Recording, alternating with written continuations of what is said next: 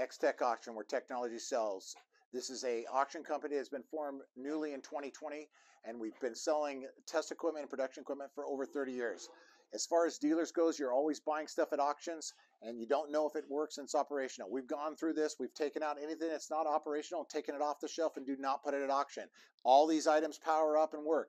If there is a problem with it and we do want to sell in the auction, we list that it isn't an operational or it's done in a very large lot where you can win by buying in volume on the auction. X-Tech Auction is selling technology that works so you can buy it from us with confidence and you don't have to worry about when it, when it gets to your facility.